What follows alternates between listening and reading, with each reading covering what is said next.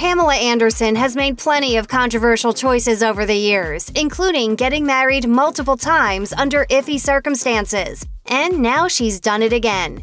On January 20th, 2020, the former Baywatch star married A Star is Born producer Jon Peters during a secret ceremony in Malibu. These two reportedly started dating 30 years ago, and after getting back together just a few months ago, they decided to tie the knot. Anderson's son, Brandon Thomas Lee, star of The Hills New Beginnings, shared his thoughts about the surprising union to Fox News, saying, I'm incredibly happy for my mom and Jon. They've known each other for over 35 years, and I wish them luck in this next chapter of their lives together. I will support the happy couple however I can, and I'm excited to get to know Jon's family even better. Anderson marked the occasion on Twitter two days after the ceremony by simply sharing a photo of herself and her new husband years ago when he proposed, but she said no because he was 20 years older than her. Peter shared his thoughts as well, telling The Hollywood Reporter, There are beautiful girls everywhere. I could have my pick, but for 35 years, I've only wanted Pamela. She makes me wild, in a good way. A secret wedding certainly is wild, but it's not the first time the actress has said I do under shocking circumstances. Pamela Anderson first shocked the world with a surprise wedding in 1995 when she tied the knot with Motley Crue drummer Tommy Lee just 96 hours after their first date. Even the actress's mother was stunned, telling people, This was the first I'd heard of him. It is heartbreaking and shocking. Now, you divorced Tommy Lee yeah. and then you married him again? I do that. While things ultimately didn't work out between Anderson and Lee, he apparently wishes her the best now. A source told Hollywood Life, Nothing will ever be the same for Tommy when it comes to his relationship with Pam. It was a once in a lifetime relationship with once in a lifetime experiences, but so much time has passed that what Tommy hopes for Pam, the mother of his children, now is that she is in a happy place with her new husband, because if she wasn't, then there would be hell to pay.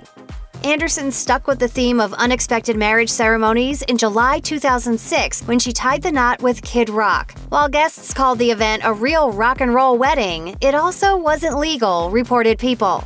The nuptials went down on a yacht in Saint Tropez. The bride wore white, as in a white string bikini. To be legally binding, the couple needed to have a civil ceremony in the government building.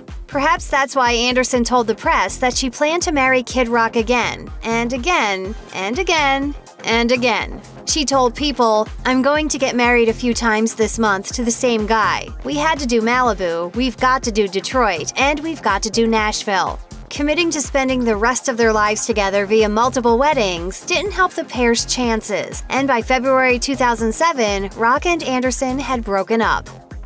Here's to living alone! Woo! Not so fast. Anderson got hitched to professional poker player Rick Salomon in October 2007, but annulled the marriage two months later. You may recognize Salomon as the man who was featured in and sold Paris Hilton's infamous sex tape. In January 2014, they walked down the aisle for the second time, but Anderson later filed for divorce in July 2014, only to change her mind, then file for divorce again in February 2015. Before marrying Jon Peters in January 2020, Anderson was rumored to be involved with, believe it or not, Julian Assange, the man in the middle of the WikiLeaks scandal. The two never officially confirmed that there was anything romantic going on between them, but Anderson did comment on their friendship via a post on the Pamela Anderson Foundation website, writing, I'm also not shocked that this may be interpreted and reduced to just a sexual relationship. That is the easiest perception and appeals to the tabloids, takes into account my image. It may be hard to imagine for some that I have other assets of equal or greater value.